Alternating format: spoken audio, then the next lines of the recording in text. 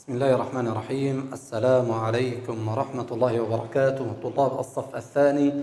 أسعد الله أوقاتكم بكل خير. تقبل الله صيامكم وقيامكم وأسأل الله يجعلنا وإياكم من المقبولين. عندنا اليوم سورة جميلة اسمها سورة البينة. سورة الدليل البرهان الحجة. نعم اسمها سورة البينة الشيء البين الواضح. نتعلم قراءة هذه الآيات الكريمة بشكل جميل بشكل صح.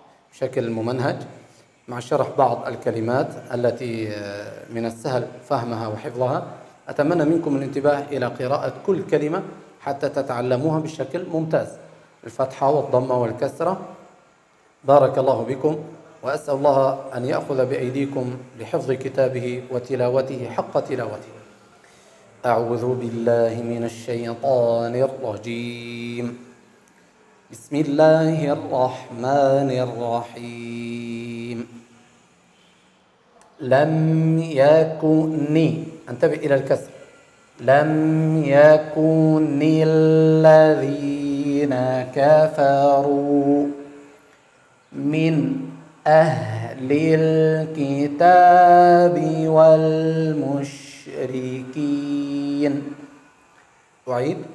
لم يكن انتبه إلى النون المكسورة أعيد. لم يكن الذين كفروا من أهل الكتاب والمشركين. من أهل الكتاب. انتبه إلى الكسرة. من أهل الكتاب والمشركين. أهل الكتاب يعني اليهود والنصارى والمشركين الذين هم كانوا يعبدون الأصنام يعبدون غير الله سبحانه وتعالى. والمشركين منفكين. أنتبه إلى قراءة هذه الكلمة بشكل صح. منفكين مسكين حتى تأتيهم تأتي عندي ياء عليها فتحة تأتيهم تأتيهم البينة والمقصود بالبينة هنا أي بعثة النبي وظهور النبي محمد صلى الله عليه وسلم لم يكن الذين كفروا من أهل الكتاب. يعني هؤلاء أهل الكتاب اليهود والنصارى والمشركين لا يتركون الكفر والبعد عن الله والجحود بالإيمان بالله حتى تأتيهم البينة الحجة البرهان الدليل الشيء الساطع الواضح وهي بعثة النبي لأنهم كانوا يقرؤون عن رسول الله كانوا يقرؤون سيرته وكانوا يحفظون في كتبهم في التوراة والإنجيل سيرة النبي. وأن هناك نبي سيخرج ويدعو إلى توحيد الله وإلى عبادة الله وأنهم كانوا عندهم نية أنهم سيتبعون هذا الرسول لم يكن الذين كفروا من أهل الكتاب والمشركين منفكين يعني تاركين لكفرهم ولضلالهم حتى تأتيهم البينة يعني حتى يظهر ويبعث النبي محمد صلى الله عليه وسلم نبي الرحمة من هو؟ رسول من الله اللي هو سيدنا محمد صلى الله عليه وسلم. رسول من الله. انتبه إلى الكسرة. رسول سكرت حرف الميم. رسول من الله يتلو يعني يقرأ. يتلو صحفا مطهرة. يعني آيات القرآن الكريم الصفحات من القرآن الكريم السور والآيات يتلو صحفا مطهرة. يعني قرآن منزه عن النقص منزه عن العيب لأنه من عند الله. ليس فيه نقص ليس فيه عيب ليس فيه أي شيء. رسول من الله يتلو يتلو صحفا مطهرة. مطهرة بعيدة عن النقص بعيدة عن الدنس بعيدة عن العيب لأن فيها أوامر الله فيها الخير فيها النفع. فيها كتب قيمة. فيها كتب قيمة يعني فيها أخبار. أخبار وأحكام وأوامر فيها النفع فيها الفضيلة فيها الأخلاق العالية فيها رضا الله فيها كل ما يوصلنا إلى جنات النعيم. فيها كتب قيمة. يعني الآيات القرآنية والسور التي موجودة في القرآن الكريم كلها تدعونا إلى رضا الله تدعونا إلى الأخلاق تدعونا إلى الفضيلة تدعونا إلى المحبة إلى المودة. وأعظم شيء تدعونا إلى توحيد الله والإيمان بالله والإيمان بالرسل.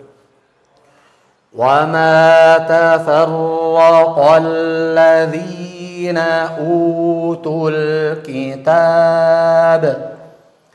إلا من سكتين بحرف النون لأن هنا تقرأ ميم. إلا من بعد ما جاءتهم جاءت تاء ساكنة إلا من بعد ما جاءتهم جاءتهم البينة. وما أمروا انتبه إلى الضمة أي للهمزة أو. وما أمروا ميم مكسورة أيضا. وما أمروا إلا ليعبدوا الله مخلصين له الدين. وما أمروا إلا ليعبدوا الله. انتبه إلى الفتحة إلا ليعبدوا الله مخلصين. مخلصين. ليكوا الفتحة. مخلصين له الدين حنفاء. يعني يعبدون الله ويصلون ويصومون ويفعلون كل شيء ابتغاء رحمة الله ابتغاء وجه الله طلبا للثواب من الله. حنفاء مائلين بعيدين يعني عن الباطل عن الكفر عن الإلحاد عن كل ما يغضب الله وذاهبين إلى رضا الله بتطبيق أوامره بالاستماع إلى ما أمر الله عز وجل به. ويقيم الصلاة ويؤتوا الزكاة. هذه هي علامة المؤمن علامة المسلم أنه يقيم الصلاة يؤدي الصلاة يصلي لله عز وجل ما فرضه الله عليه من الصلوات وهي خمسة. ويقيم أنتبه إلى كلمة ويقي ويقيم الصلاة ويؤتوا الزكاة. يدفعون بعض أموالهم للفقراء والمحتاجين والمساكين. نعم. وذلك دين القيمة دين الخير دين العظمة. دين البركة دين الفضيلة. وذلك دين القيمة. أتمنى منكم طلابنا نسخ هذه الآيات الكريمة بخط جميل. بارك الله بكم وبارك عليكم وأسأل الله يفتح عليكم. والسلام عليكم ورحمة الله وبركاته.